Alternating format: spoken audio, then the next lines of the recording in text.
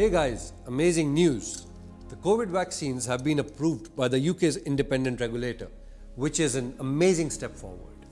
Vaccines in the UK are only made available to the public once they meet safety standards through strict tests and clinical trials.